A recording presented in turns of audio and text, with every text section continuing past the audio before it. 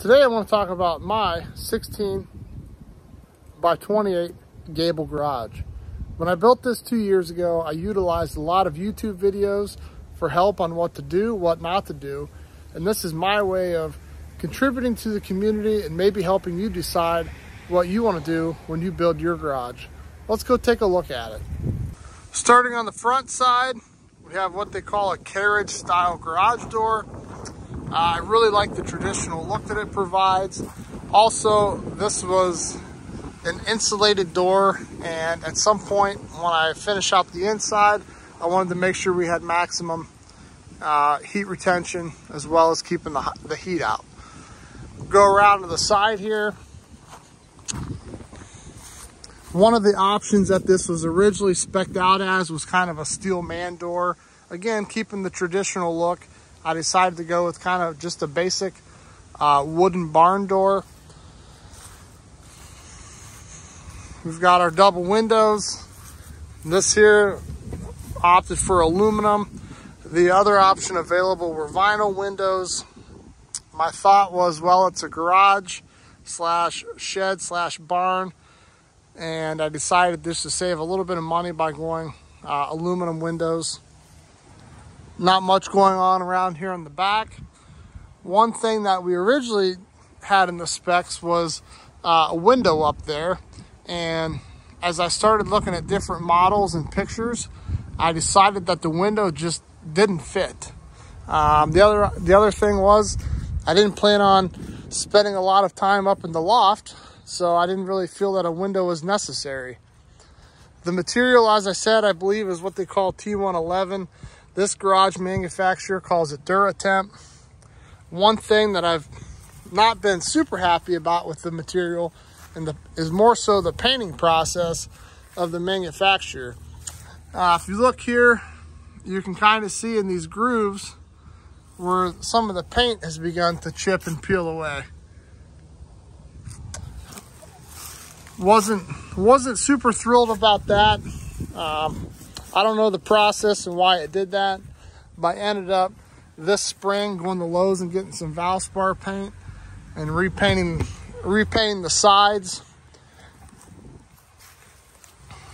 Come next spring, next summer, I'm gonna get some or, uh, some latex caulking. I'm gonna try to seal these up a little bit. But outside, like I said, not not too much going on. We've got the the standard shingle roof. Again, the house is shingled, and the wife just did not want a metal roof garage with a shingled roof house. And there's the cat.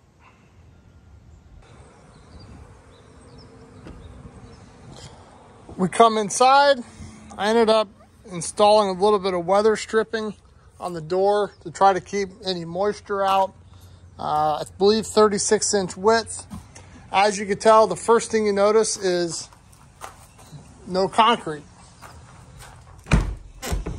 My plan is ultimately to pour a concrete floor in here but uh, I decided to spend more money on my fishing hobby and a trailer for that hobby.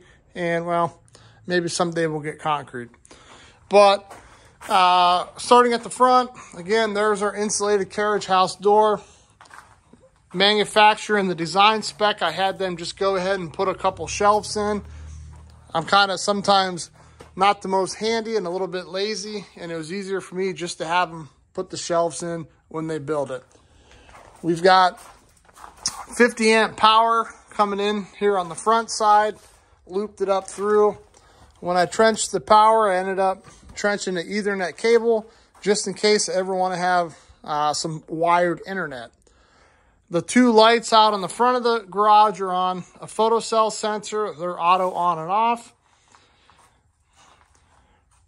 For the wall finish, um, again, I, I, just wanted to do something unique, and this is the wife was the driving force behind this. We've got uh, just your corrugated steel, obviously, on the bottom, and then up here, just, you know, various cuts of pallet wood that we sanded and stained.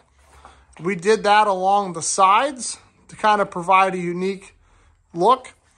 And then on the back here, just uh, quarter inch un untreated sanded plywood. There's a possibility that someday I decide to paint it, but it's hard saying when and if I'll do that. Had the uh, garage builder also built out a workbench for me. That way, as soon as the garage was done, I could just move the workbench in and start moving all my stuff in. Uh, as you can tell, the workbench is filled up right now with some fishing equipment. Got the, the toolbox. Obviously, you got to have a TV in here. As you look, ceiling is just unfinished right now. Um, not sure what I will do up here eventually. I thought about painting it black. I've thought about painting it white. And I've also thought about insulating it too and covering it for when we get concrete, we'll have a good, good insulation area. Wanted it nice and bright, so I got on Amazon, got four foot LED light fixtures. Um, ran those to outlets. That way, if I need to move, add, and subtract, anything like that, I can just plug and play real quick. Did not want to do any hardwired lights. Coming up the steps, one of the options for a loft was a fold down ladder. Again, thinking of versatility, the fold down ladder I did not like very much. I wanted to be able to lug something heavy safely up the steps if I had to. So like I said outside, I opted for the 12-12 roof. Uh, I'm six foot in height, and by going a 12-12 pitch, that gave me a lot of extra uh, standing height. Some of the companies that I talked to, they only utilized attic trusses. And one thing I did not really enjoy about the attic trusses, they kind of kind of lost some of the side space just on the designs they showed me. I want, I like the, the true rafter ceiling. At some point, uh, we're going to put some insulation through here, get this insulated up, closed up, and uh, just energy efficient. Just got a bunch of tool storage, some fishing equipment at the end, uh, some camping gear, just some odds and ends up here. But again, I, I went with that, that full loft just for future future needs. I never know what I might need up here. As the garage has had time to settle, uh, different little areas pop up that draws my attention. You know, the plan is to kind of seal that up. I want to seal across here. My garage manufacturer utilized just a, a corrugated plastic product for soffit venting to allow some airflow. Once once I do get concrete, again, my plan is I want to try to enclose this stairwell area. I want to put a door leading up to the loft. Want to try to close that off some. I'll probably end up getting a small electric heater to hang from the ceiling. I don't plan on doing a whole lot of stuff out here in the winter, but it's also would be nice to have a heated garage. Forgot to mention that underneath all the finished area, I did go ahead and put um, some fiberglass insulation matting all the way around. So that area is insulated. 50 amp power, if I didn't mention that. Everybody kind of thought I was nuts for only going 50 amps. Hey, what if you want to want to want to run a welder or a big air compressor? Well, I don't weld and I don't need a big air compressor, so I opted to go 50 amps and so far in two years, I've not had any issues with it.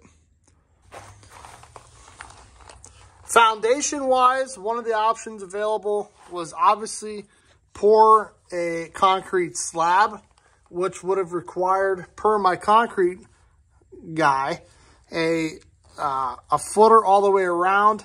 Um, again, that talking through some options, he suggested that they do what they call the post beam foundation.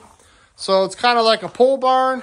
They came in, uh, sunk in several posts throughout, lopped them off, and then they attached a sill plate right here all the way around the structure.